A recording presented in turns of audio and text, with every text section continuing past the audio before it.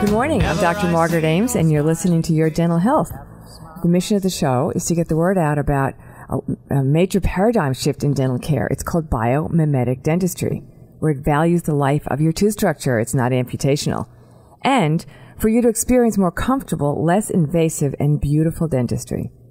I can be reached in my Huntington office at 631 261 4525. That's 631 261 4525. I have our producer, David Levenstein, here with me today. He had a few questions that he wanted to ask me. So, uh, Dave, welcome to the show. And thank you for, first of all, thank you for being here on the radio station with us. It's a great show. It's very, very informative. And while I sit in the back recording your shows, there are a lot of questions that come to my mind. Okay, when you talk about biomimetic dentistry. Now, you talk about um, in the last show that you spoke of, it was Civil War dentistry versus what's going on today.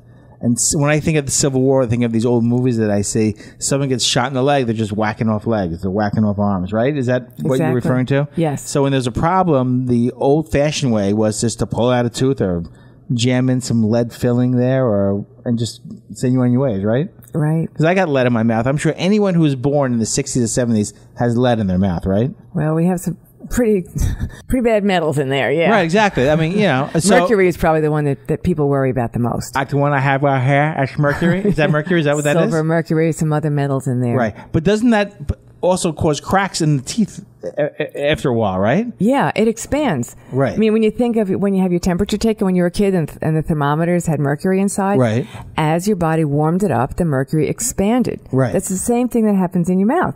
Okay, so the reason why it expands is because it's mercury. It's an expandable metal because heat will cause it to expand, and that causes cracks in the tooth. Exactly. And then you have to get a cap. Well, in the old way, yeah. Mhm. But your new way is saying no. So then what goes in its place? There is um, composite resin restorations, which Mm-hmm. happen to be beautiful and tooth colored, but actually done biomimetically. They're healthier, they're stronger, and they re- they eliminate the need to amputate so much tooth structure for a cap. So when you oh, when you like, and I I have to tell you, I, I gotta be honest with you, I'm single. And I date, and I'm not saying I look in people's mouths before I decide whether I want to kiss them or not, right? But when you're having a conversation with somebody, you can see if they got a lot of metal going on there. Yeah. or a lot of dental work. Bad dental work specifically stands out. You know, it really stands out a lot. And um, so when you think it's it's tooth colored, so when you're getting these um, these. Uh, um, they're Resin? not. They're not. It's resin. Now, when you open your mouth, it's, it's going to look like your mouth. It's going to look like teeth, right? Yes. So it's not going to look as though this one's lighter, this one's darker, this one's yellow, this one's green. I mean, sometimes you see so many different colors going on in people's mouths. And so many different colors of white on the front teeth, which is uh, the worst. Yeah. Right. Now, why is that? Are dentists lazy in general? So they say they're just throwing something in that's close enough because the chart says, oh, this works? I would never criticize dentists. I think they're all really working hard. I'm sure- what they do. I'm Um, sure they are, but I, they I could lazy? criticize them. They're really doing their best. right. Um, it takes sometimes a little bit more time Right. to get the right shade. Um, Right. Sometimes I'll send uh, if if a patient has had a cap or a crown in the past and it Right. fails, I have no choice but to do another cap or crown if that initial one failed, which they do. Right. So um, I'll send it to the lab, and if it's a tooth that shows in their smile, it's critical that the color matches. So I take photographs, I send anything on the color chart that I can, and if it comes back and it's not acceptable to me and or the patient, Right. I'll put the temporary back in. I'll say, you know, you have to add a little bit of a yellow or a little bit of a gray tone to it because it has to look like all the other teeth. Right. Because nobody's teeth teeth are 100% pure white. And when you see very, very white teeth, it almost looks unnatural. Yeah, it- it- like like dentures. Right. Like that. Right. It just doesn't look right. Yeah. Now, when people get caps, what a normal cap, what is the procedure? The, a, a dentist has to file down the, the, the tooth? Yeah. And then put the replacement tooth on top of it? Yeah. Takes out all the old filling, the silver, even the old composite.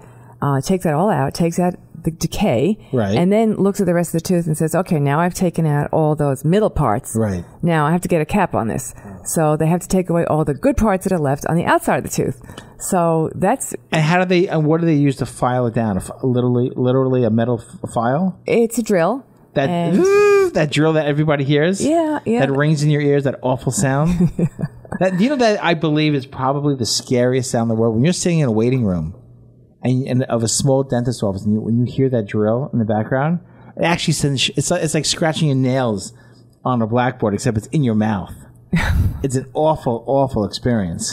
But you, this doesn't happen in this type of dentistry. Well, if you have to take off an old cap, It's you, gonna you happen. do have to cut it that way. And the- the, bits we call them burrs, and they can be a certain kind of metal, or they're impregnated with diamond particles. You know, it depends upon what I'm removing. Right. Um, but I didn't get to tell you about air abrasion. Now, with air abrasion, it sounds much quieter than a drill. Right. You can't use this to take out old fillings, old silver fillings, or crowns. But you can do it if the patient has not had um, a silver filling there before. Right. So th- most people don't even need Novocaine for that. So I use air abrasion. It's a sandblaster. And I just use it in a controlled way. It's quiet. Patients love it. So what happens if you have a very sensitive nerve? Is it gonna, are they going to feel it? If they have a sensitive nerve, I can always give them Novocaine if they need it. Right. Right. Right. you know, which I'll go to that. I'll give patient options. I'll say, you know, some people say, don't come, don't even look at me with that Novocaine. And other patients say, do anything you can not to do Novocaine. So I ask them. Do people not want the Novocaine because they don't want the shot? Many people, for many people, that's the reason. It's the shot. It's the shot. Because once you get past the, once you get the, past the initial pinch of the shot, then you don't feel anything. You know, it's just that first needle in the gum that really just kills. Well, when I was in dental school, Yeah. I had a tooth crack and I had to have a new filling. You did. I did in Okay. dental school. I was away from my family dentist, and one of my faculty members treated me, and I was like a baby. I'm so afraid of the needle myself. Right. So you can bet that I refined my technique. That Mm. it- it's not going to hurt. I mean, I really, that's a big priority for me. Tell everybody how they can reach you. Oh, they can reach me in my office at 631 261 4525. 631 261 4525. I'm located in the town of Huntington. My website also has a section on biomimetic dentistry. Okay. And there's another website, Find a Biomimetic Dentist, which has stuff for lay people. It says for patients. Right. They can research this more. Yeah, but folks, if you have dental work, if you're afraid to go to the dentist, you need to call um, Dr. Ames and take a ride out to her office. This is this is a woman who actually cares about what you're going to feel after you leave the office. It's not just the fact that she's going to fix your tooth; it's you're not going to be afraid to come back. And I think, do you think that's a big reason why people avoid going to the dentist is because they're afraid? Absolutely. Yeah. And I had one woman that her teeth were very unattractive, and she just said, I, "I just have to do this. I just have to do this.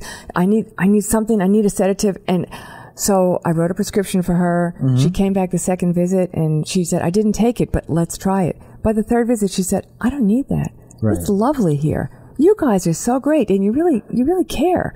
That's the biggest compliment I can get. Right. So, yeah, Yeah. that's pretty exciting. That's, tell people again how they can reach you. It's important. You can reach me at uh, 631 261 4525. Right.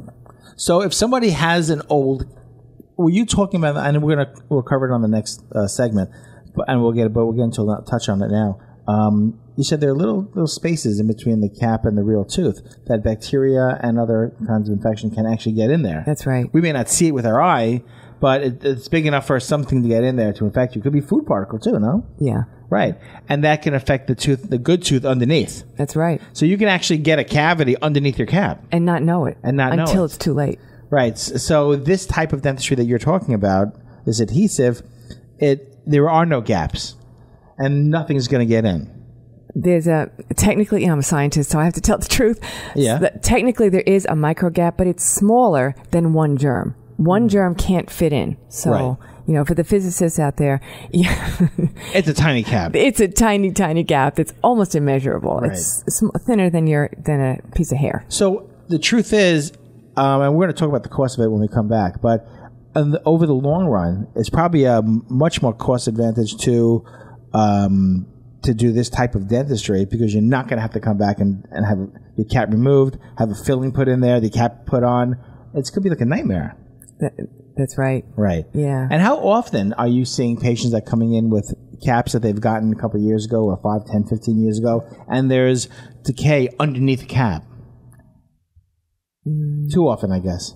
Yeah, it's pretty regular. It's not an Yeah. astonishing like, oh, how did this happen? It's like, oh, that's what happens. That's what happens. And unfortunately, dentists have become complacent and said, you know, this is what happens. Now we have to replace your cap.